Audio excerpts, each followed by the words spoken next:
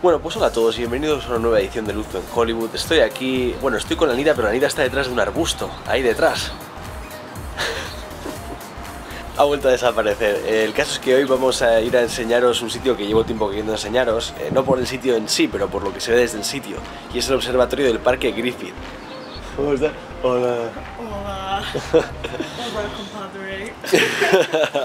El caso es que hay un observatorio en el Parque Griffith que está en las colinas de Hollywood y desde ahí eh, se ve la mejor vista de Los Ángeles. O sea, el atardecer es increíble. No sé cómo saber desde la cámara, pero cuando se está ahí es genial. Así que he pensado que os voy a llevar y así lo veis. Y nada, no hay muchas cosas que ver ahí. O sea, no es un sitio tipo de atracción en el que hay un montón de cosas para ver, pero sí que es eso, la mejor vista que se pueda ver de la ciudad y se ve lo grande y lo horizontal que es y lo inmensa. Así que vamos para allá.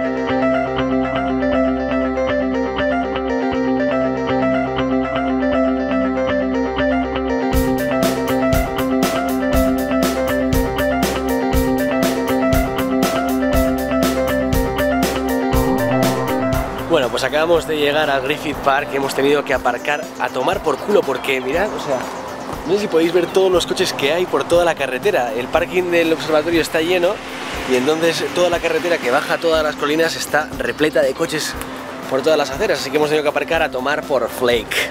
Así que nada, ahora estamos haciendo un poco de senderismo para subir hasta el observatorio y, y lo bueno es que es, está atardeciendo y es la mejor hora para estar aquí porque es cuando la luz eh, pega más baja a la ciudad y, y se ve mejor porque como sabéis Los Ángeles además tiene bastante polución así que suele haber bastante nieblilla a lo lejos si ves la ciudad desde lejos lo cual hace que no se vea muy bien la anita o sea esto es algo que te imaginabas ¿verdad? Sí, ¿no? Otra cosa guay del Griffith Park es que las vistas son geniales, o sea, en, las- en la zona de las colinas, no si miras a la ciudad, aparte de las vistas de la ciudad, es todo como bastante verde para lo que es Los Ángeles, o sea, no tanto como tipo Big Bear, ¿verdad? O sea, hay mucho árbol, lanita, mucho arbusto, mucho animal, ¿eh? mucha cosa natural. Animal no, ni tanto. La Anita está triste porque allá donde vamos nunca hay animales, nunca ve animalitos monos que pueda hablar en delfínico, ¿eh? Muy triste. No es triste. Sí. Imagínate que tuvieras un león de montaña, es que aquí hay leones de montaña en las colinas. O sea, quiero decir que por lo menos no te van a comer. But they're cute. No, no I, son monos. I don't mind. Es un jodido león. Maldita sea. No importa. Para mí es mono y ya está. No vamos a tener leones de montaña en casa tampoco, ¿eh? Con.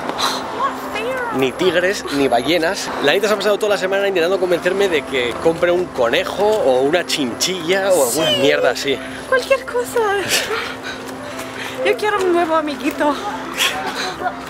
Por Dios, la que me espera. Otra cosa para saber dónde está el Griffith, bueno, si lo buscáis en un mapa sabéis dónde está, pero comparte colinas con el cartel de Hollywood, que ya lo habéis visto en el primer episodio de Luz en Hollywood. Toda esta zona es Hollywood Hills y hay un montón de cosas para ver y, y casas de famosos también, cosas divertidas, ¿verdad? Bueno, pues después de trepar por las colinas hemos llegado. Eso es el observatorio. Eh, como os decía, eh, esto es una zona de mirador, pero además el observatorio tiene el planetario dentro. Eh, hay un pequeño museo, yo nunca he estado dentro, solo he venido aquí arriba para las vistas. Pero cuando cae el sol se pone todo súper guay porque, eh, como os digo, se baja un poco la niebla y aparecen las luces de la ciudad y tal, y se ve súper lejos todo. Hazme una pose, vale, Lanita, aquí en el observatorio. Tui, tui, tui, tui, tui.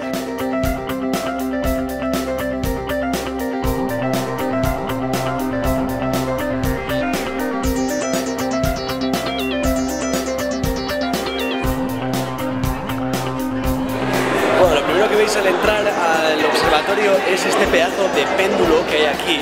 Si lo vais a ver. Super perspectiva.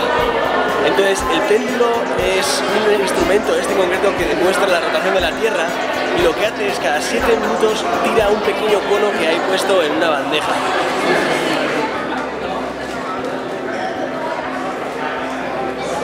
Como veis aquí dentro casi todo son cosas de, de demostraciones y presentaciones de cosas sobre la Tierra, sobre el espacio, sobre el cielo, de las estrellas. La verdad es que es interesante, pero bueno, tampoco es Jurassic Park, o sea, tampoco os imaginéis que esto es la leche. No hay dinosaurios ahorita, no hay extraterrestres, eh, no hay meteoritos que caen inesperadamente sobre nosotros mientras grabamos. Lo que sí que hay, por si acaso, es más gente que en la guerra, para que no os acostumbréis, ¿sabes? Porque aquí en América cada vez que vais a ver algo hay más gente que en un batallón de infantería. Eso es Luzu y Lanita en infrarrojos. Ah, espera, voy a hacer el sexy pero vulnerable en infrarrojos. Bueno, hemos vuelto a salir porque vamos a ir a la otra zona. Estamos en la terraza este ahora y vamos a ir a la terraza oeste. A ver qué se ve desde ahí.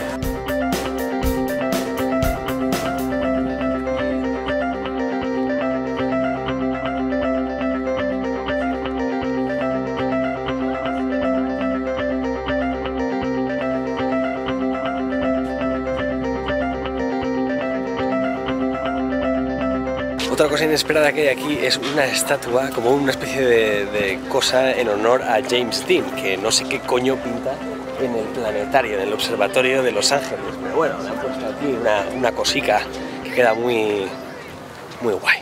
Bueno, y con esto nos despedimos ya del observatorio. Eh, la Anita aprendió un montón sobre planetas eh, y sobre órbitas y cosas, ¿verdad, la Anita? Sí.